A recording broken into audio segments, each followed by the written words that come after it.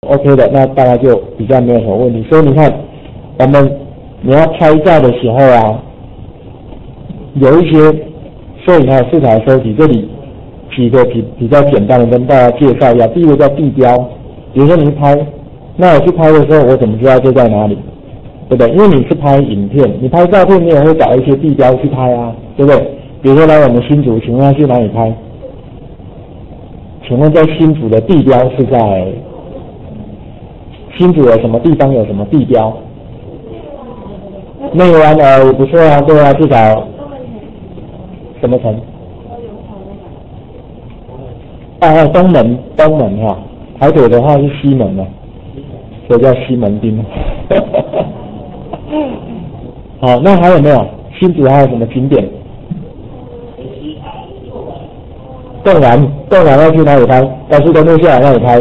结果都拍到辣妹而已，南寮渔港哦，对对对，这段题是蛮蛮其他后，找到去啊，二十八尖山，对对对对，哈，所以你看你你可能到那些景点之后，你如果你只是拍那个山，那也看不出来这十八尖山，对不对？所以你可能就要找一些呃，比如说它有地标的南寮渔港，现在是不是也有一个，但是好像远的那个。有吗？我印象中好像有，忘记了。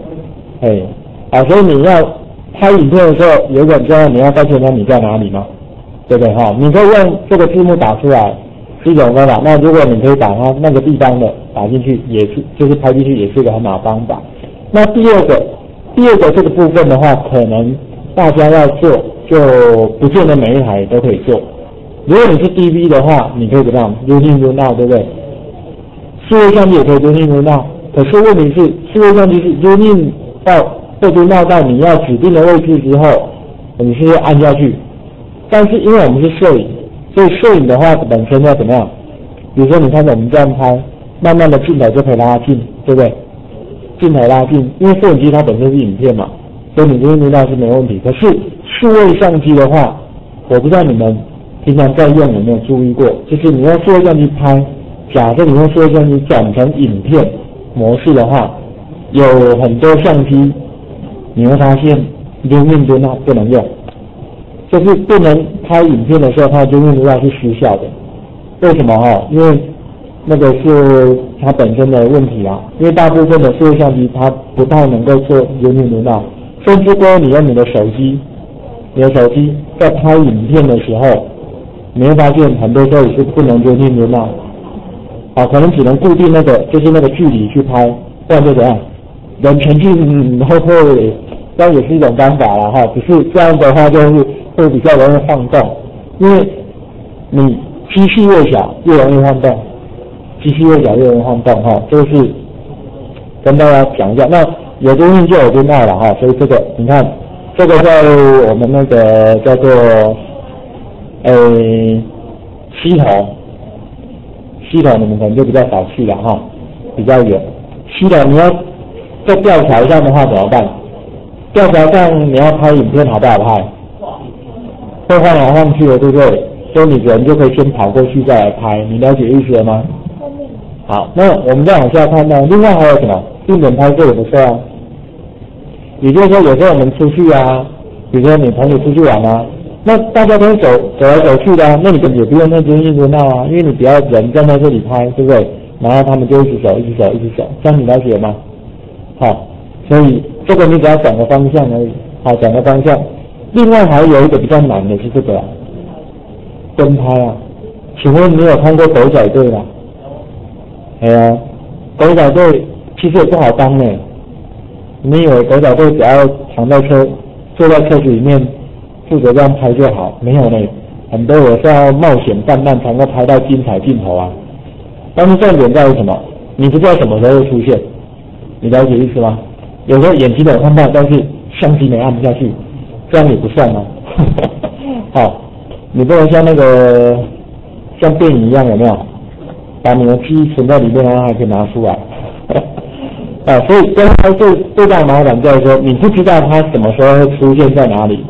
然后我的相机来不来得及调整，啊，所以一般来讲，比如像我现在这个这个给你们看的，这个是在去哪里？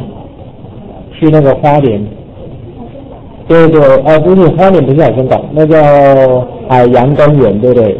很呃那个屏东那个才叫海参馆嘛，对不对？哦，那你去那边，这个是那个海狮表演，还有那边还有海豚表演，对不对？跟香港那个一样啊。你如果是第一次去看，你怎么知道它要做什么表演？所以如果你镜头拉得很近。是不是一下他就跑出去了？啊，所以摄影机跟我们一般拍照片不一样的地方，就是在于说，你今天你想要捕捉的是一个动态的过程。那如果你晃的很严重，像这个的话，你会发现有些照片是看起来有点模糊，因为它本身就是转的比较厉害嘛。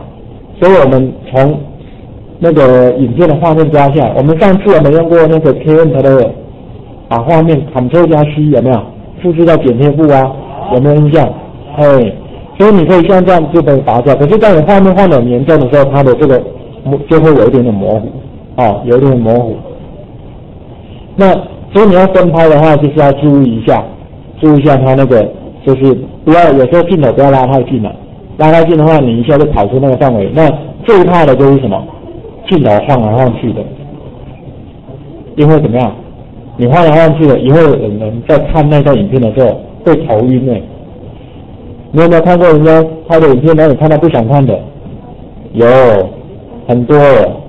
我告诉你，很多人很喜欢用 DV 去拍照，比如说帮人家拍那个婚纱的啊，就是那个结婚的啊，就是出去玩的。但是回来他都不看，为什么？一点都不好看。我宁可看电视。为什么？因为你这个东西没有经过剪接，就是很粗的东西啊，就等于说。你没有把那个梗啊，人家人家讲的综艺节目要有梗嘛，对不对？你那些东西都没有把它弄出来，怎么会好看呢？对不对？差就差在这边。所以其实说真的，你比如说一天，假设你是半天也好，或一天的活动，请问你回来之后，你有没有可能再花一天或半天的时间，我全部从头看一次？不可能啊！对，还会浪费那么那么多时间，所以你可能一天下来、半天下来，搞不好只剩十分钟、二十分钟，甚至三十分钟而已。所以你要去无存菁，你就把它剪一剪。你看我们新闻事件不是这样吗？开个记者会，可能一两个小时，然后上新闻的时候只剩两分钟。所以很多时候记者他移花接木，是因为他不这样做，他也没办法。我不可能完整还原啊，对不对？又不是现场的那个记者会，啊，所以。不像那个林来峰，我们是看现场，直接从头看到尾，对吧？打球可以这样看吗？哈，好，那所以这几个大概是比较单刀直入。我们刚刚看了几个方法，就比较单刀直入的。我要拍谁，就直接面对他就拍就好了。那另外一种，其实我们在电视上、电影上常常看的，我把它称作情境物，就是说，比如说你在拍这个情侣好了，直接拍他们人当然也是可以。可是如果你在拍一些海边，再拍一点比较浪漫的，对不对？去餐厅的，哎，再把它带到他们身上来，这也是一种方法。我们常常看到这样子啊，哈，他可能先介绍一下那边环境啊，然后再带到男女主角身上来，那这样叫情境一入。所以你拍的方法，拍照跟摄影虽然都是在拍，但是因为摄影本身它是拍什么动态的，动态的，所以你可能要多考虑一些事情。